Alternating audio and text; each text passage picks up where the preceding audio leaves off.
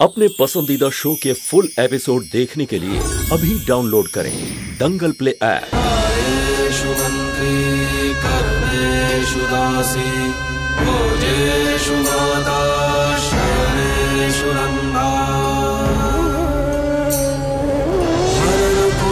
मन्त्री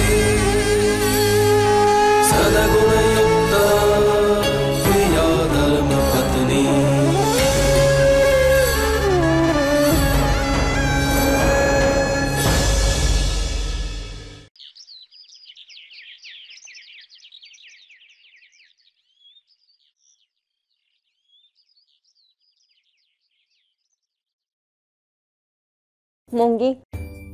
मूँगी। मूँगी उठ ना मूँगी। चल सुबह हो गई। चल उठ। चल उठ, नहा ले। उठ ना मूँगी।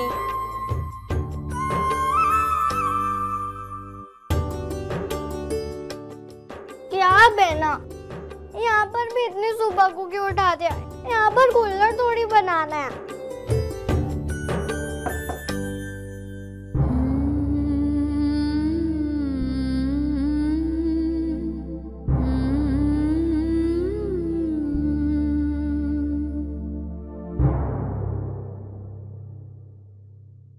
नाना जी को छोड़ा है।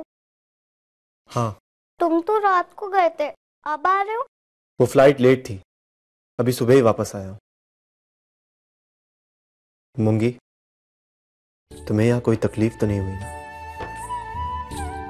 मुझे तो कोई तकलीफ़ नहीं हुई और नींद भी बहुत अच्छे से आई लेकिन खेमी बहना को तकलीफ़ हुई या नहीं हुई वो मुझे नहीं पता। नहीं खेमी। कमज़ोर मत पड़ना। खेमी बहना आपको तकलीफ़ हुई बताओ ना। तकलीफ़ कैसे होती? शंभू मेरा इतना ख्याल करते हैं। रात को भी मेरा सामान खुद उठाकर यहाँ ले आए। सफ़ाई की खाना खिलाया। मुझे उनका स्वभाव बहुत अच्छा लगता है। कितना ख्याल करते हैं वो मेरा? चलो अच्छा है मूँगी। तुम लोग इस घर के मेहमान हो। और मेहमानों का ख्याल किस तरह से रखा जाता है? ये शंभू अच्छी तरह जानता है।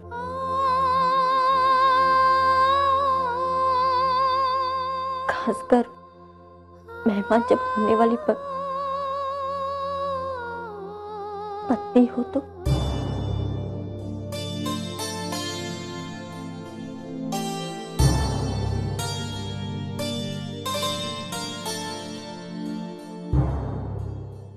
खैर मूँगी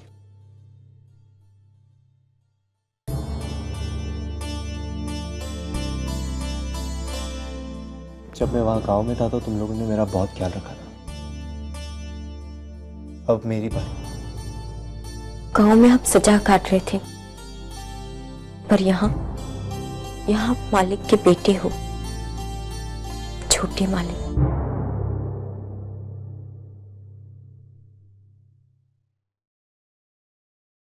मूँगी। क्या छोटे मालिक किसी के दोस्त नहीं हो सकते? किसी के हमदर्द नहीं हो सकते? क्या वो किसी के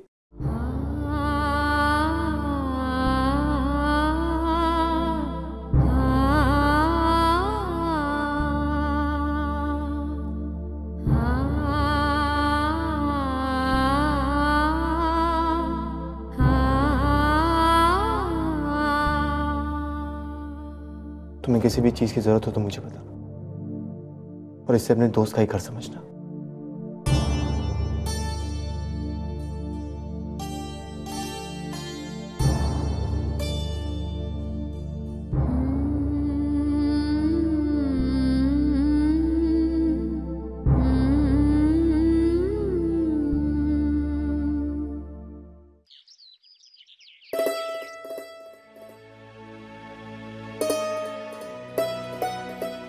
कद्दू भी ना।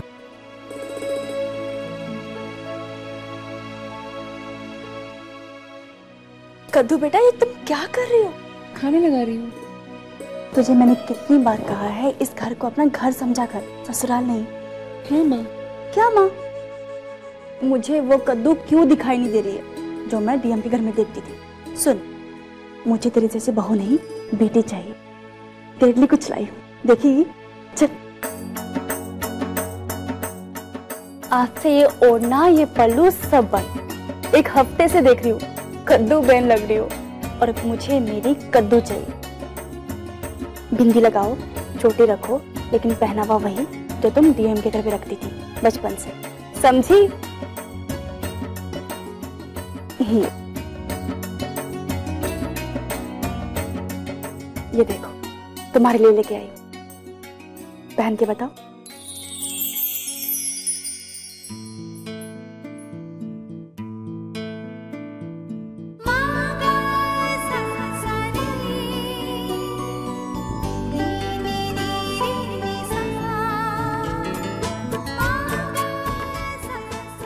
अब लग रहा है कि मेरे घर पर मेरी बेटी है। बस बस, अब रो मत। अब मुझे ये मत कहना कि मुझे देख तुझे सुभद्रा की याद आ रही मैं अपने रिश्ते को सास बहू का रिश्ता नहीं बनाना चाहती, बल्कि एक अच्छे दोस्त का रिश्ता बनाना चाहती हूँ। तू जानती है, सास बहू का रिश्ता बहुत पेचीदा होता है। कितनी मुश्किलें होती हैं इस रिश्ते में। इसीलिए मैंने सोचा है कि हम अपने रिश्ते को एक अच्छे दोस्त का रिश्ता बनाएँगे। ओके माँ। और हाँ ये मामा क्या लगा रखा है? कोई आगे पीछे ना हो ना तो मुझे मेघना भी बोल सकती है। मुझे अच्छा लगेगा। मेरी उम्र का अंदाज़ा नहीं होगा मुझे। जस्ट इम्पॉसिबल माँ। फिर माँ सखी बोल। मेरी सखी।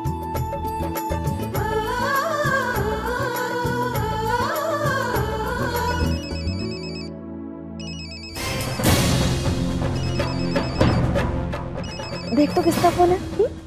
अ, लक्ष्मी? ये सामान लेके मेरे रूम में आओ हाँ?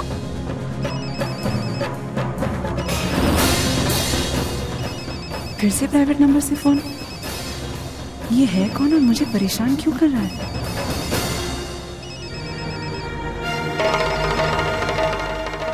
हेलो हेलो अरे कौन बोल रहा है? बोलते क्यों नहीं? हेलो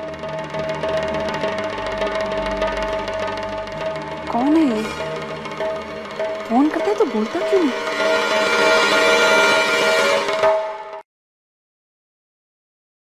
अरे रे ये क्या कर रहे हो?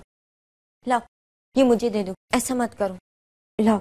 ये तो मेरा रोज का काम है खेमी। और वैसे भी बेनबा को पता चलेगा कि मैंने ये काम नहीं किया तो खाम का डांटेंगी। बेनबा तो डांटेंगी। चाहे कोई बात हो या ना हो उनकी तो अब आदत सी हो गई है। खैर मैं अपना काम तुम्हें नहीं करने दे सकती। लाओ। नहीं नहीं मैं कर लूँगा। और वैसे भी बस हो ही गया है।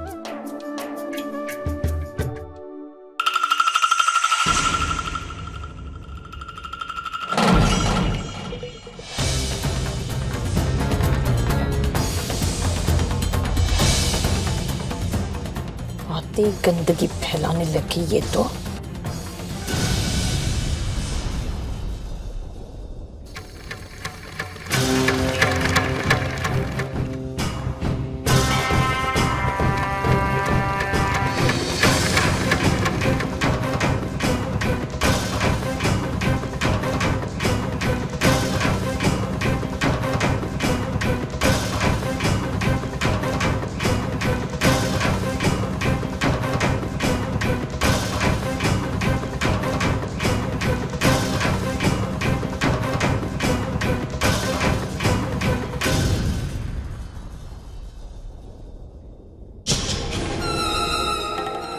ए!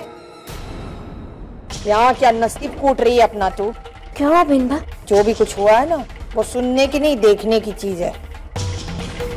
चल दिखाती हूँ तुझे तेरे बहन ने क्या गुल खिलाया।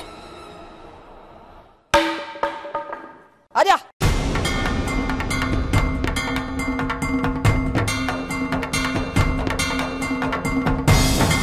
ये क्या कर रही है? चल। तुझे तेरे बहन का पिक्चर दिखाती हूँ। मॉर्निंग शो आजा।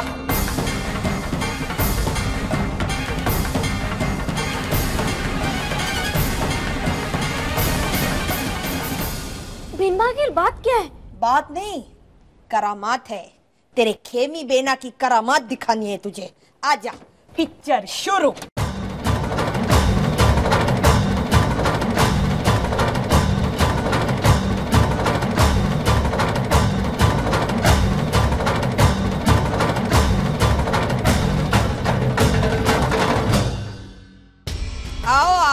पैसा फेंको, तमाशा देखो। अरे, तुम लोग खड़े क्यों हो गए? बैठो बैठो। पलंग के पीछे बैठे हो। आओ ना, पलंग के ऊपर बैठो। खेनी देना। इसे अपने बाप का ही घर समझो हाँ? यहाँ पे जो चीज़ है ना, बस हर चीज़ पे तुम्हारा हक है, समझो। ये जो शंभू है ना, ये भी वैसे हमारा नौकर ही। है क्या खेमी बेना। ये गंदे काम करने से पहले दरवाज़ा तो बंद किया होता। लेकिन अच्छा किया जो इसने दरवाज़ा खुला रखा नहीं तो मैं कैसे देख पाती? और अगर मैं नहीं देखती तो संतू महारानी को कैसे दिखाती? इसकी बहन का हमारे नौकर के साथ जो चल रहा है वो पिक्चर ये ये गलत है। आप जैसा सोच रही हो वो बिल्कुल गलत है। चुप! उल्टा चोर कोतवाल को डांटे। खुद तो गंदे काम कर रही है ऊपर से मुझे बोल रही है। बच्चलन आवारा लड़की। बस कीजिए बेना आप मेरी बड़ी बहना का अपमान कर रही है। ओहो हो दो तीन बार तुझे महारानी क्या बोल दिया? भूल से मैंने अपने आप को महारानी समझने लगी तू? अरे अपमान उसका होता है जिसका पहले से कुछ मान हो।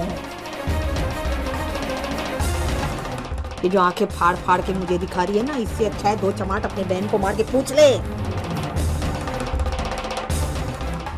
इसके लिए उसे यहाँ लेके आई थी कि वो हमारे नौकर के साथ रंगरलिया मनाए बेना, इतनी जवानी फूट फूट के बाहर आ रही थी ना तो मुझे बता दिया होता कि शंभू को तेरे घर पे भेज देती मैं। हमारे घर में क्यों गंदगी फैला रही है? क्यों कर रही है हमारा घर अपवित्र? बिम्बा आप बेना के बारे में बिना जाने कुछ भी कह रही है। जैसा आप सोच रही वैसा कुछ नहीं है। खुद मालिक नहीं खेमी बहना और शंभू जी के रिश्ते के लिए यहाँ का है। बहुत जल्द खेमी बहना और शंभू जी का लग्न होने वाला है। क्या? शंभू? और तेरी बेना खेमी? ये दोनों की शादी होने वाली है। क्या बकवास कर रही है तू? अरे डफोल पहले ही तेरे रूप में हमें एक छोटी जाति का रिश्तेदार मिला है, वो कम था, जो अब ये ये हमारे टुकड़ों पे पलने वाला, ये छोटी जाति का कीड़ा, ये ये ये हमारा रिश्तेदार बनेगा। ये।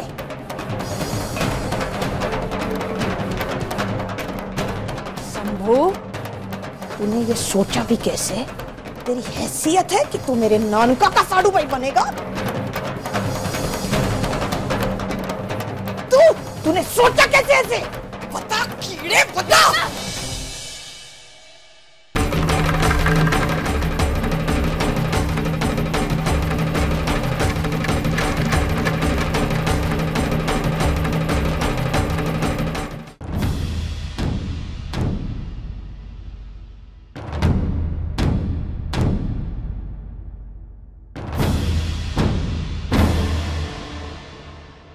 क्यों तोरू?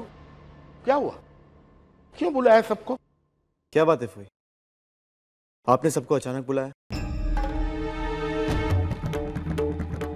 ए हिलेरी उठ। अंदर जाके खेल चल। चल मम्मी चलते हैं। बस थोड़ा ही खेल बचा है। एक कांटी लाल करने है। खेल पूरा करके चलते हैं ना। कहा ना? सुनाई नहीं देता। मूँगी भेनबा ने कहा ना जाओ यहाँ से।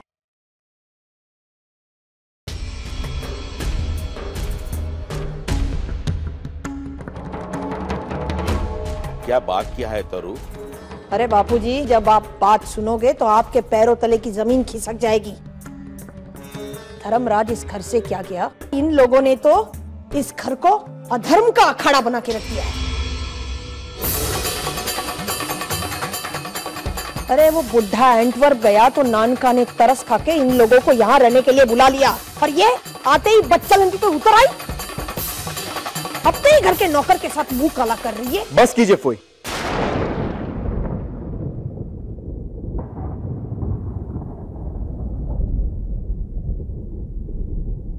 तूने मुझसे ऊँची आवाज़ में बात की हाँ? मुझसे? तेरी फोई से? अरे हाँ मैं तो भूल ही गई। तू कहा मैया वंशी रहा? महीनों इस संतुड़ी के घर का नमक खाया है ना तूने? तो नमक हलाली पे तो उतर ही आएगा तू। सिर्फ़ नमक ही नहीं खाया मैंने इस घर के लोगों को जाना है मैंने। उनके संस्कारों को जाना है मैंने। उनकी सोच को पहचाना है मैंने फोई ये लोग अपने घर आए मेहमान के सामने इज़्ज़त ना जाए, इसलिए अलग खाना खाते हैं ये लोग। खुद सूखी रोटी और नमक खाते और मेहमानों को अच्छा भोजन देते हैं, ताकि घर की इज़्ज़त ना जाए। ये फटे पुराने कपड़े पहन लेंगे, पर उससे उनके आत्मसम्मान पे कभी कोई आँच नहीं आएगी। गरीबी के बोझ से कंधा झुक सकता है पर कभी ऐसा कोई काम नहीं करेगी कि इन्हें अपनी नज़रें झुकानी पड़े वाह हितेन वाह बहुत बोल रहा है तू बहुत बोल रहा है। अब एक काम कर ये ये जो इज़्ज़त की टोकरी खड़ी है ना यहाँ इसे पूछ। शंभू के साथ पलंग के पीछे छिपकर ये क्या कर रही थी पूछ। प्लीज़ बस कीजिए। मैंने कहा ना मैं खेमी के बारे में एक शब्द भी नहीं सुनना चाहता।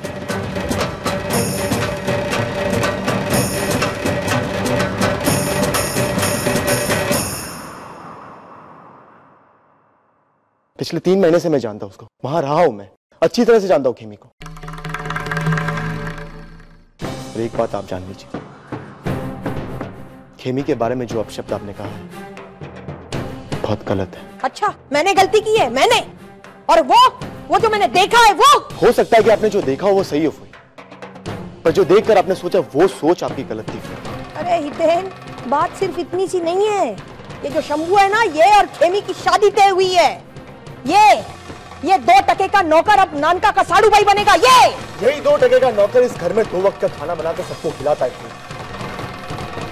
और रही बात शंभू और के लगने की तो वो मैं पहले से ही जानता और इस शादी के लिए तो खुद धर्मपुर के मालिक ने भी हाँ कही। क्या? नानका ने हाँ कर दी है? हो ही नहीं सकता ये। तू भूल सकता है कि तू मैया वंशी है लेकिन मेरा भाई नानका कभी नहीं भूल सकता। वो कभी नहीं हाँ कर सकता। नहीं भूला हूँ मैं कोई। मैं मैया वंशी हूँ और मैया वंशी रहूँगा। अरे तो फिर एक छोटी जाति की लड़की की तरफदारी क्यों कर रहा है? क्या रिश्ता है तेरा इसके साथ? रिश्ता उसके साथ है मेरा फुई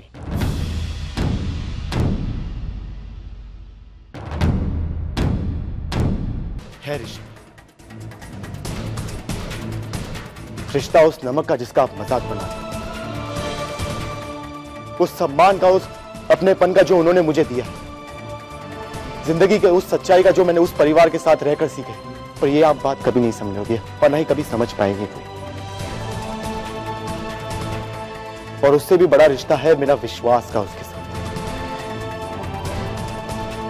मुझे खेमी पर पूरा भरोसा है। और मुझे भरोसा है अपने भाई पे। वो ऐसा कभी नहीं कर सकता। वो क्या चाहते हैं क्या नहीं चाहते वो जब लौट कर आ जाए तब उनसे पूछ लीजिए। वो तो मैं पूछूँगी। लेकिन मुझे भरोसा है कि मेरा भाई ऐसे कभी नहीं करेगा। और अगर उसने इस रिश्ते के लिए हाँ कर दी है ना तो मैं ये रिश्ता कभी नहीं होने दूँगी। ये मेरी जिद है। नानका जब तक वापस नहीं आता, ये दोनों एक छत के नीचे इस घर में नहीं रहेंगे और ये मेरा फैसला। शांत हो जा करो आँखों देखा कभी कभी गलत होता है। और ये लोग यहीं रहेंगे क्योंकि धर्मराज की इच्छा है। और शंभू अपना पुराना नौकर है। बस। बस बस। मैं फैसला कर चुकी हूँ। अब मैं कुछ नहीं सुनूँगी।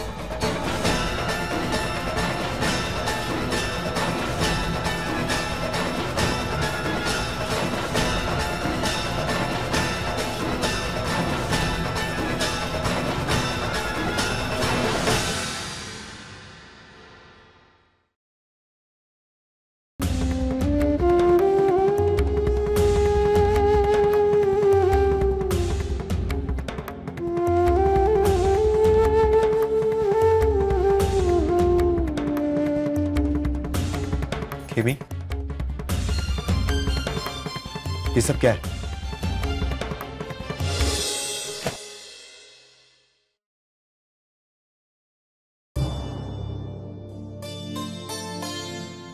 हे खोड़ियानू